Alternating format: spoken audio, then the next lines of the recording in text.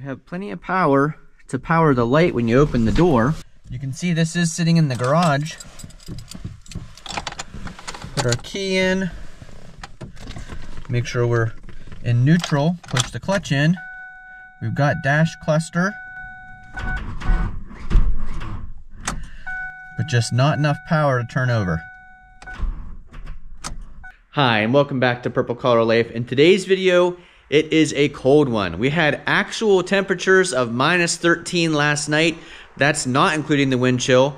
And then today we're in the single digits. And as happens sometimes when it's this cold out, my little Ranger has a dead battery, won't start. Has a little bit of power, tries to turn over, but then the starter just clicks.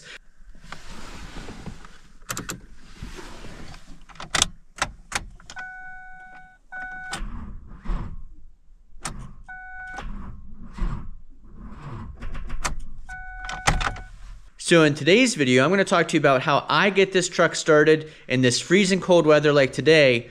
Um, and then I want you guys to leave comments down below because I know there's a lot of varied opinions on how to jumpstart a vehicle these days. One of the most important things that I've heard most recently is that it's not great to jumpstart one car with another car. The sensitive electronics in both vehicles um, it's difficult to do that without damaging or potentially damaging those electronics. So one of the best things to use instead of a regular set of jumper cables that we've used for decades is something like a jump and carry, or if you're in the garage like this, a, a battery charger that allows you to jump start. Hanging here in my garage is what we've used forever to jump start vehicles, tractors, equipment.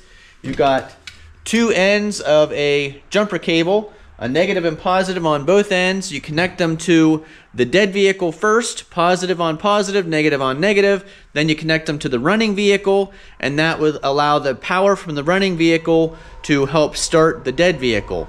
But like I said, today, that is frowned upon. They say that it's not great for the electronics of the vehicles. So today's solution is one of these two options primarily. We've got dash cluster So one of the things you can use, and you can see we've used ours a lot, this is the Jump and Carry 660. I'll put an Amazon link down below to this unit or one like it. I've used this thing all the time uh, for dead equipment. And the nice thing is you can see I've got it charging right now. You can push this button to see the state of charge. We're in the charging area. I'll go ahead and unplug it. You just plug it into a regular extension cord with the female end plugging into the jump and carry.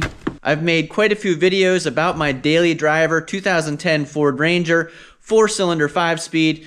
This has the 2.3 liter four cylinder engine and right here you can see as our battery. Not exactly sure how old it is. I don't know if it's got a date on it. It is a Motorcraft battery. BXT 59.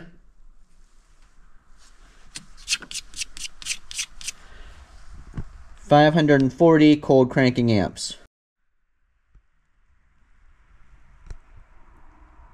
Now normally my truck starts fine, but when we get these really, really cold nights, that's hard on the battery. Obviously it's discharging or it can't maintain a charge in that freezing cold temperature and it makes it hard to start even for a small four cylinder engine like this. If you take a look at our Super Duty F350, this is the gas engine, but just like our previous diesel Super Duty, this truck has two batteries that really helps on cold days like today to make sure you have enough power to turn the starter and make sure the truck can start in these cold temperatures.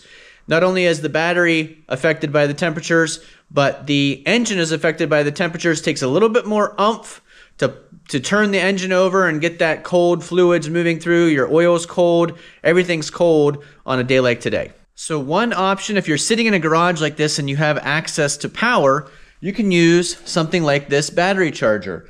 This is the Schumacher uh, 200 amp engine start, 40 amp boost, and 6 to 2 amp charge.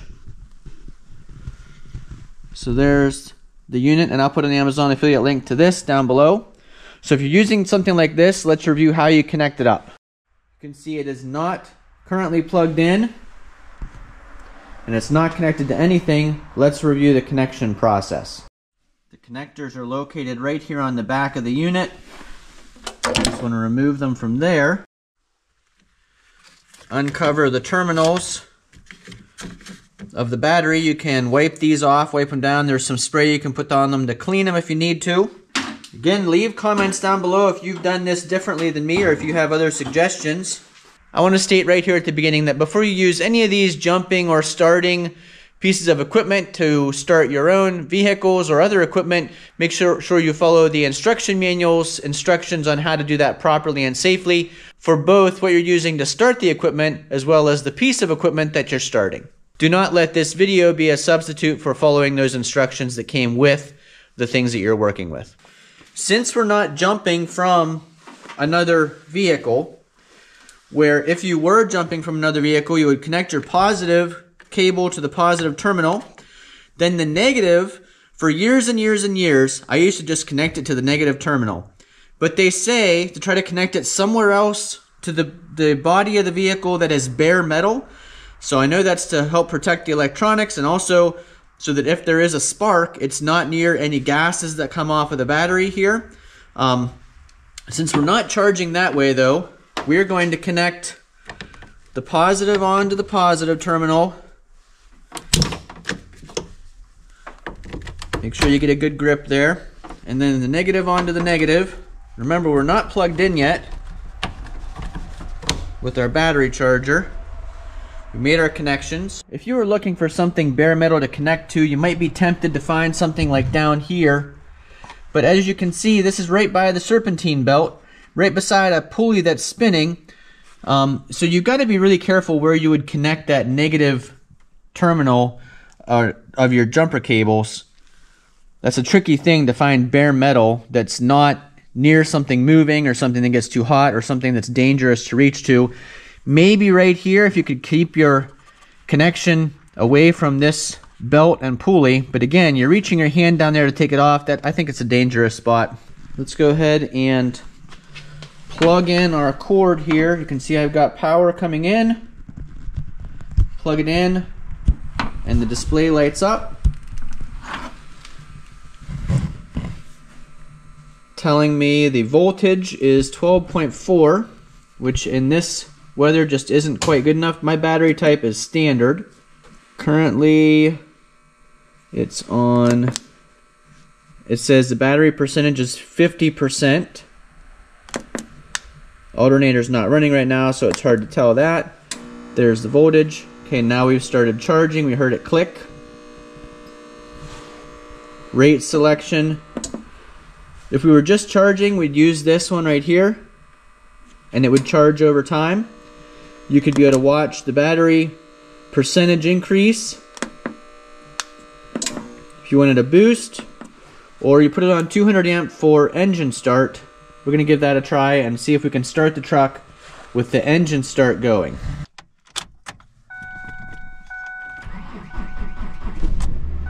Yes, that worked.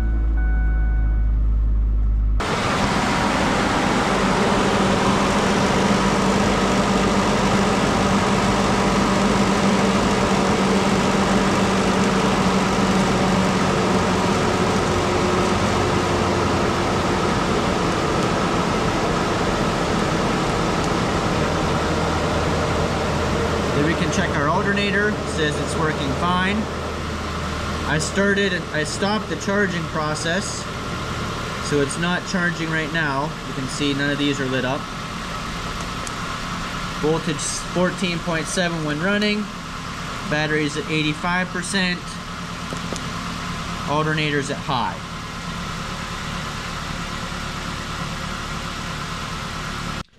Okay, now it's saying the battery is at 13 and it's going down a little bit because remember we've turned this off, we're not charging it. Let's get this disconnected and I'll show you the other way, which is probably more common for me. Now this is probably best case scenario, right? You're sitting in the garage, easy access to power. You've got a battery charger and starter in your garage you can use to start the vehicle up. But let's be honest, that's not super typical. Most of the time your battery's dead because your car is parked at the airport or at work or somewhere else and you don't have access to power and a battery charger slash starter like this Schumacher one. And that's exactly why I like to keep the jump and carry ready. I actually carry this with me in the Ranger so that if I get a dead battery somewhere, I've got a secondary attempt to start it. Now, if this is stored in the back of the Ranger and you have had the truck sitting outside for three days in these sub-zero degree temperatures, your battery in the Ranger is probably dead if it's like mine and it's a little bit older, and the battery in the jump and carry might also be dead. So just be aware of that. Uh, this will be affected by the cold temperatures also, but it will hold up for a little bit of time, maintaining a charge if it's fully charged. So starting with the positive side, I just unwrap enough and go ahead and connect it to the positive terminal of the battery. You can see these have nice wide jaws to clamp onto the battery. And this is where it gets a little tricky. If you need to make sure you follow the instructions that came with what you have the jump and carry instructions that came with this pack stated to go ahead and connect this right to the negative terminal. Just like I've done right there. But I've noticed in the newer packs, they're saying to find a bare metal piece on the engine to connect to. And again, this is where you've got to be careful. I understand the desire to not have a spark here at the battery when there could be off gases that are flammable or dangerous or explosive. But at the same time, there aren't many spots, at least inside my vehicles, that there's a bare post to connect to. I know some cars do have a bare post uh, that's able to be connected for jump starting a vehicle. I'm not aware of one on this Ford Ranger. If there's one that I don't know where it is, make sure you leave that comment down below. You want to make sure you use a jump and carry that's heavy duty enough for the piece of equipment you're starting. The 660 is appropriate for a battery of this cranking amp size.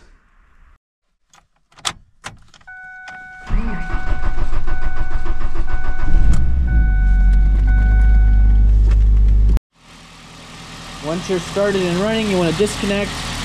Reverse order, I'll take the negative off first. Take the positive off. Carefully coil it back around the jump and carry. You can see a nice mobile solution, plenty of power to start our Ford Ranger on a sub-zero day like today. Now a note about our jump and carry 660 unit, it works great for the Ford Ranger. Um, but it would not work on our previous 2005 F350 diesel. It didn't have enough amps to help start the diesel engine. So if you're looking at something like that, make sure you do your research, get a size that's appropriate for the vehicle that you need to start. The 660 is also perfect. I use it if the zero turn battery is dead, if the lawn tractor battery is dead. The jump and carry is a great solution for equipment like that. All right, so we're gonna let the Ranger run for a little bit. I'm gonna open the garage door. We do have the center door open for some ventilation here in the garage, but I'll open the door right behind the Ranger. Let this warm up for a little bit, let the battery charge for a little bit, and then it'll be ready to go the next time I need to start it.